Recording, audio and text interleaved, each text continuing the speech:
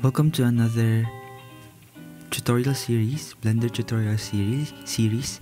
This is part 2 of the distillation column Blender tutorial series for a beginner's project in Blender 3.0.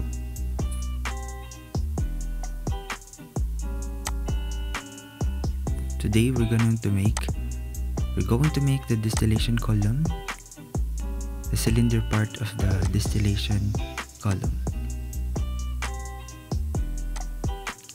To start off with making the assembling the distillation column, we first inserted the trays that we created from part 1 and we duplicated it in order to replicate the stack of trays which resembles the distillation column.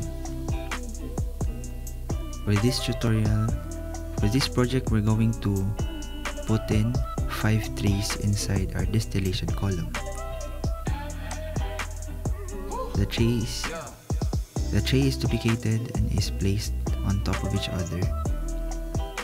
So the duplicated tray is then rotated at 90 degrees and is properly placed so that they will be aligned to each other.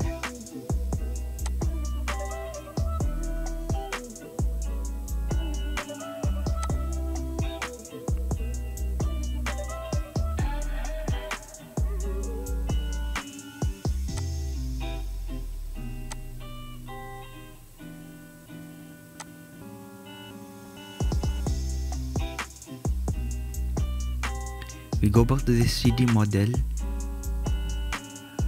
in order to see the dimensions that we need to follow. A square mesh was inserted. This will serve as a guide to know the proper distances between each frames.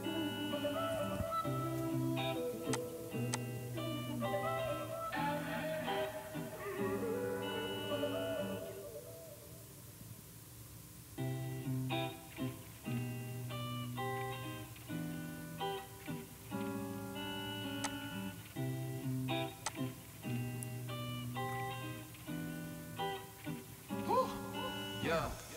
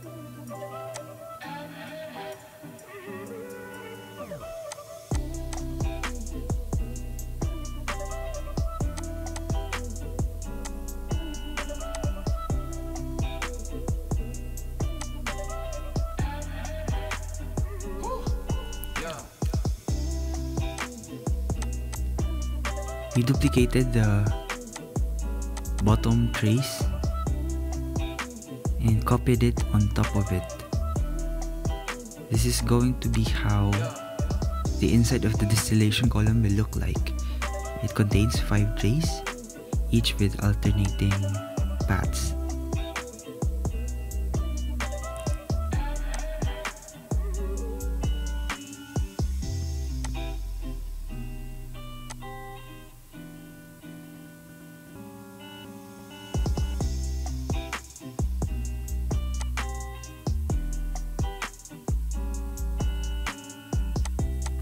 Next thing is to insert the outer cylinder of the distillation column.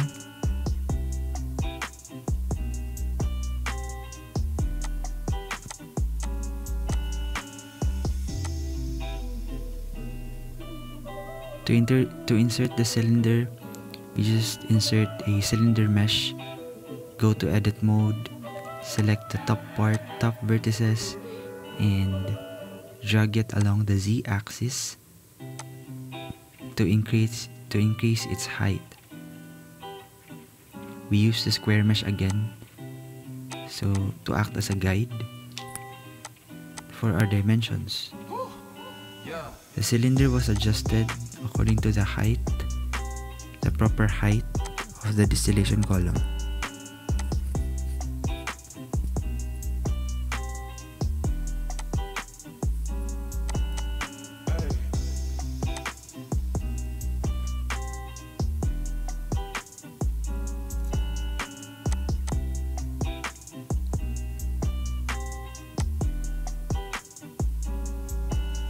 Same thing will be done on the bottom part of the cylinder.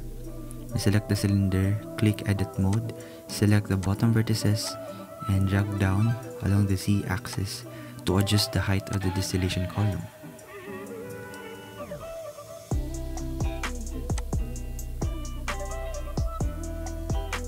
We adjust the whole thing along the origin.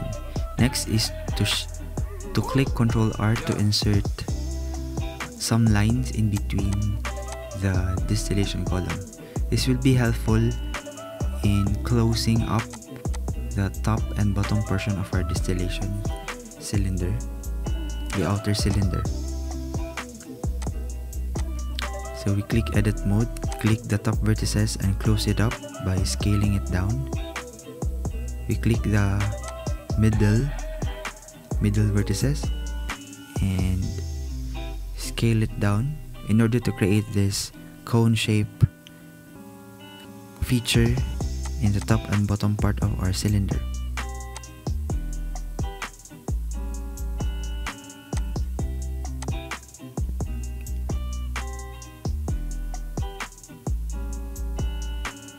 We do the same thing for the bottom part.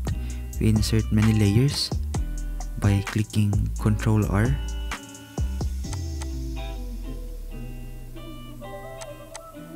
And then we select the bottom vertices, close it up by scaling it down. Same with the middle vertices, scale it down to create this cone shaped feature.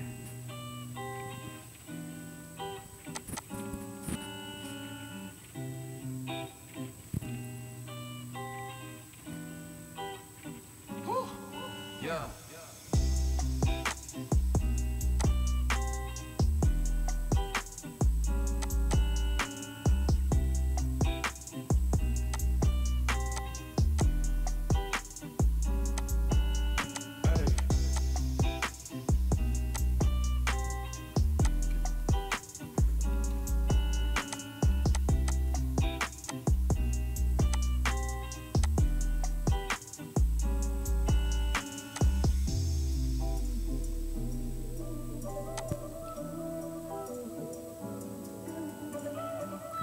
To smoothen out the top and bottom part, we inserted many layers in between by clicking Ctrl R.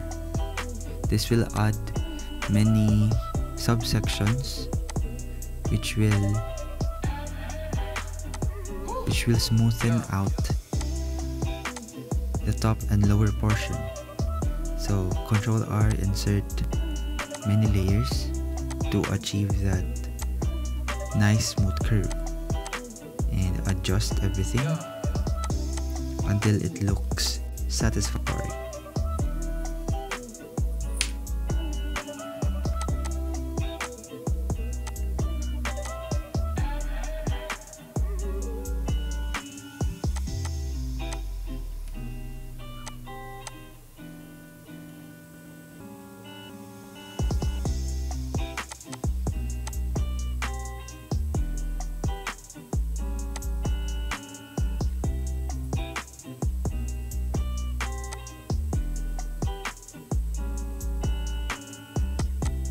This is how it's gonna going to look like after we made few more adjustments. Once you're satisfied, you can then do the same to our bottom area of the cylinder.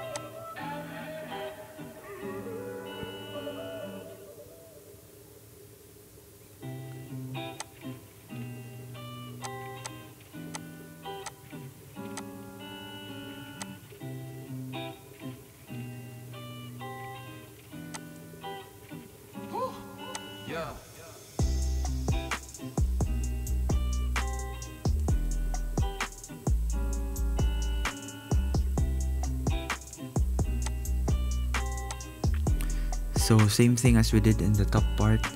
we click Ctrl R to insert many subsections. This will create smoother curves along the lines and will smoothen out the appearance of the bottom section.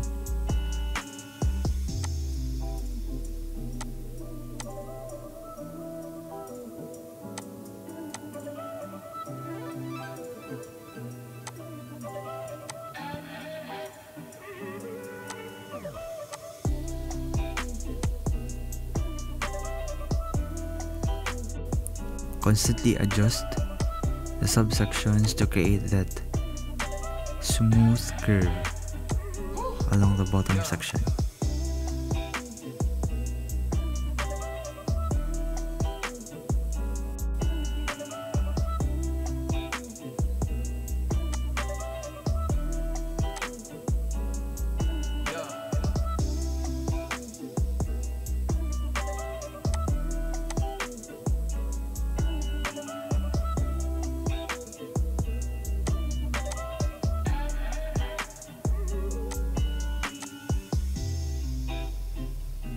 After adjusting, this is how it's going to look like once it's done.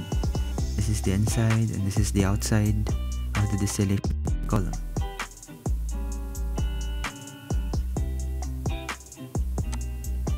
And that's it for part 2 of the distillation column blender tutorial series for beginners project.